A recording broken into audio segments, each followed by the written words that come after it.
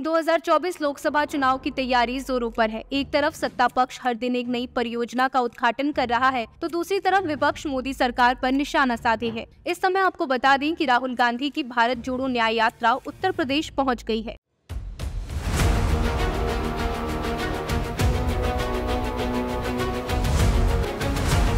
जहाँ राहुल गांधी ने कांग्रेस पार्टी का मोर्चा संभाला हुआ है। कभी पुलिस भर्ती परीक्षा, ओबीसी आरक्षण तो कभी बेरोजगारी पर राहुल गांधी के बयान सामने आते हैं। 2024 लोकसभा चुनाव को ध्यान में रखते हुए सभी पॉलिटिकल पार्टियाँ उत्तर प्रदेश में अपना सिक्का जमाने में लगी हुई है। 2019 की बात करें तो भाजपा ने उत्तर प्रदेश में 80 में से बासठ सीटें जीती थी। इसके अलावा बसपा ने दस, सपा ने पाँच, अपना दल सोनेलाल ने दो और कांग्रेस ने मात्र एक सीट जीती थी। कांग्रेस की भारत जोड़ो न्याय यात्रा के चंदौली, वाराणसी और अमेठी होते हुए रायबरेली पहुँचने पर राहुल गांधी ने मंगलवार को एक बयान दिया। उन्होंने कहा था, मैं वाराणसी गया था, मैंने वहाँ देखा सड़कों पर हज़ारों युवा शराब पीकर सड़क पर लेटे हुए हैं और बाजा चल रहा है। शराब पीकर युवा बनारस की सड़क पर नाच रहे हैं।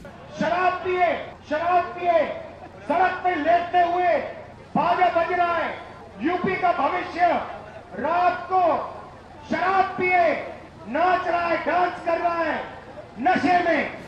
राहुल गांधी के इस बयान के बाद प्रधानमंत्री नरेंद्र मोदी ने वाराणसी में एक जनसभा को संबोधित करते हुए जमकर विपक्ष पर निशाना साधा। उन्होंने कहा कि उत्तर प्रदेश परिवारवाद भ्रष्टाचार और तुष्टीकरण की राजनीति के कारण दशकों से विकास से पीछे रहा। इस दौरान पीएम मोदी ने राहुल गांधी के वाराणसी के युवाओं के शराब पीने वाले बयान को लेकर पलटवार भी किया। कांग्रेस के शाही परिवार के युवराज का कहना है वो कह रहे हैं और काशी की धरती पर आके कह रहे हैं। काशी के नौजवान, नशेड़ी है।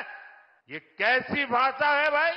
मोदी को गाली देते देते तो इन्होंने दो दशक बिता लिए। जिनके अपने होश ठिकाने नहीं है, वो यूपी के मेरे काशी के बच्चों को नशेड़ी कह रहे हैं। आपको बता दें, वाराणसी प्रधानमंत्री नरेंद्र मोदी का संसदीय क्षेत्र है। वाराणसी में तेरह हज़ार करोड़ रुपए की विकास परियोजनाओं का उद्घाटन और शिलान्यास प्रधानमंत्री मोदी द्वारा किया गया है। उन्होंने यहाँ राहुल गांधी के वाराणसी की सड़कों पर नशे में लोगों वाले बयान पर भी पलटवार किया। प्रधानमंत्री नरेंद्र मोदी ने कहा कि जिनके अपने होश ठिकाने नहीं है, वो यूपी के युवाओं को नशेड़ी कह रहे हैं। एक तरफ़ जहाँ यूपी में कांग्रेस बीजेपी आरोप निशाना साध रही है तो वही दिल्ली के सीएम अरविंद केजरीवाल ने लोकसभा चुनाव दो हज़ार उनतीस के लिए नई घोषणा कर दी है। बीते दिनों विश्वास प्रस्ताव पर विधानसभा को संबोधित करते हुए आप संयोजक केजरीवाल ने कहा कि अगर केंद्र में बीजेपी पार्टी इस साल के लोकसभा चुनाव में नहीं हारती तो आम आदमी पार्टी अगले लोकसभा चुनाव में भारत को बीजेपी मुक्त कर देगी। कि 2024 के अंदर बीजेपी अगर नहीं हारी लोकसभा चुनाव तो दो हज़ार उनतीस के अंदर आम आदमी पार्टी इस देश को बीजेपी से मुक्ति दिलाएगी।